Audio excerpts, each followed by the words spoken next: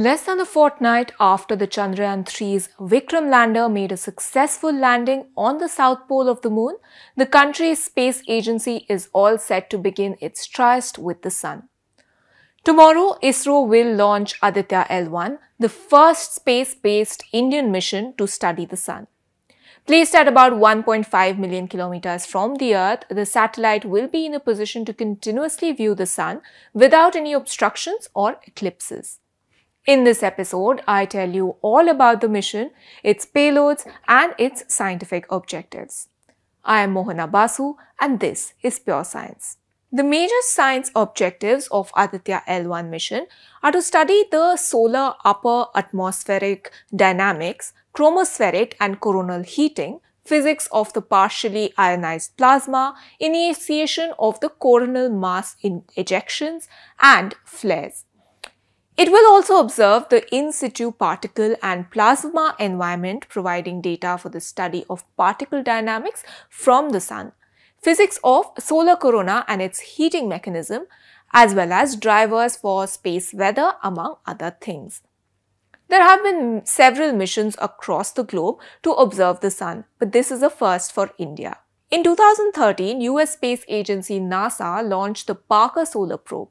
In December 2021, the probe flew through the sun's upper atmosphere, the corona, and sampled particles and magnetic fields there. This was the closest any probe has gone to the sun. In February 2020, NASA joined hands with the European Space Agency and launched the Solar Orbiter to collect data to find out how the Sun created and controlled the constantly changing space environment throughout the solar system. Way back in 1995, NASA, ESA and JAXA, that is the Japan Aerospace Exploration Agency, jointly launched the Solar and Heliospheric Observatory or SOHO. JAXA launched its first solar observation satellite, Hinotori or Astro A in 1981. Yohkoh or Solar A launched in 1991 and Transient Region and Coronal Explorer or TRACE along with NASA was launched in 1998. In 2006, Hinode or Solar B was launched which was the successor to Yohkoh, the orbiting solar observatory. In 1990, the ESA launched Ulysses to study the environment of the space above and below the poles of the Sun. Other solar missions include PROBA 2 in October 2001. The Advanced Space-Based Solar Observatory was successfully launched by National Space Science Center of the Chinese Academy of Sciences on October 8 in 2022. Now coming to why do we need to get up and close to the sun to study it? Why are there so many solar missions? Our view of the sun from the earth is blurred by particles in our atmosphere. So a space telescope is needed to get rid of all this interference. Moreover, we all know that the sun provides earth with energy to enable and sustain life on our planet. But the energy consists of more than just visible light flow of ions, plasma and magnetic fields also affect the atmosphere on Earth. Solar flares, that is random bursts on the solar surface, can disrupt global communication systems. But we do not understand them enough to be able to predict them. Scientists hope that getting a closer look at the solar surface will help us answer some of these questions. Once the satellite is put in orbit, we will be sure to see exciting scientific discoveries from the mission for years to come. The Aditya L1 will carry seven payloads to observe the photosphere, chromosphere and the corona of the sun using electromagnetic and particle field detectors. Of the seven payloads, four will directly view the sun, while three will carry out studies of effects of changes in the solar atmosphere on the interplanetary medium. The satellite will be placed in an orbit around what is known as the Lagrange point 1 of the Sun-Earth system. Lagrange points are positions in space where objects sent there tend to stay put at Lagrange points, the gravitational pull of two large masses precisely equals the centripetal force required for a small object to move with them. These points in space can be used by a spacecraft to reduce fuel consumption needed to remain in position. An analogy for this would be holding a thread with a bead at the center of it with two hands and spinning it. At some point, the bead moving in a two-dimensional orbit around an invisible point will be exerting a centripetal force that equals the force that is holding the thread in place. That invisible point would be the Lagrange point. The position of the two hands would be the sun and the earth and the thread would be the gravitational pull of the two bodies.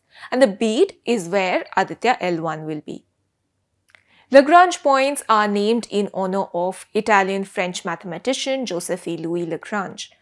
There are five special points where a small mass can orbit with a constant pattern with two larger masses.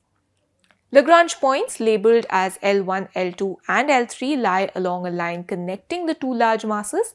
Lagrange points labeled L4 and L5 form the apex of two equilateral triangles that have the large masses at their vertices. Being at L1 would give Aditya L1 an uninterrupted view of the sun. The instruments of Aditya L1 are tuned to observe the solar atmosphere, mainly the chromosphere and the corona. The Visible Emission Line Coronagraph or VELC will take images of the sun's corona capturing images of the solar corona. This instrument is designed to capture sudden solar flares as well as piece together an overall image of the sun's corona by taking a few pictures at a time. Solar Ultraviolet Imaging Telescope or SOUT will measure and monitor the solar radiation emitted in the near ultraviolet wavelength range that is 200 to 400 nanometers. It will simultaneously map the photosphere and the chromosphere of the sun using 11 filters sensitive to different wavelengths and covering different heights of the solar atmosphere and help us understand the processes involved in the transfer of mass and energy from one layer to another. SOUT will also allow us to measure and monitor spatially resolved solar spectral irradiance that governs the chemistry of oxygen and ozone in the stratosphere of Earth's atmosphere. This is central to our understanding of the sun-climate relationship. Solar Low Energy X-ray Spectrometer or SOLEX instrument will detect soft X-ray energy. The instrument is meant to complement VELC by making independent and accurate estimates of temperature and emission measures at the flaring sites. This instrument also provides a alert of sorts that can detect an oncoming flare for the main payload, which would help optimizing the onboard memory storage. High energy L1 orbiting X-ray spectrometer will observe the hard X-ray emission from the sun in the energy range of 10 to 150 kiloelectron volts. This will provide direct information of electrons accelerated in flares. These four were the ones that will look directly at the solar surface. Now there are three more instruments that will make observations at the Lagrange point. Aditya Solar Wind Particle Experiment or ASPEX, the primary objective of ASPEX is to understand the solar and interplanetary processes like shock effects, wave particle interactions, etc. in the acceleration and energization of the solar wind particles from the L1 point. To achieve these objectives, ASPEX measures low as well as high energy particles that are associated with slow and fast components of the solar wind. The Plasma Analyzer package for Aditya aims at studying the composition of solar winds and its energy distributions. Solar wind is a magnetized plasma consisting of charged particles like protons, alpha particles, electrons, and heavier ionized atoms with magnetic fields embedded in it. This instrument will look at the plasma flowing out of the sun in all directions at very high speeds, an average of about 400 kilometers per second. It is responsible for the anti-sunward tails of comets and the shape of the magnetic fields around the planets. The exact mechanism of solar wind formation is not known. So this uh, instrument contains two sensors, Solar Wind Electron Energy Probe or SWEEP and Solar Wind Ion Composition Analyzer or SWICAR which would measure respectively the solar wind electrons and ion fluxes and composition as a function of direction and energy. Advanced triaxial high resolution digital magnetometer will be used for sensing the magnetic field at Lagrange 1 point and help ISRO keep track of the orientation of the Aditya L1 spacecraft. We will get you the latest as ISRO launches the Aditya L1 mission tomorrow. Once again, this is Mohana Basu, Assistant Editor at The Print. Be sure to follow our social media platforms to stay updated on our coverage of the Aditya L1 mission.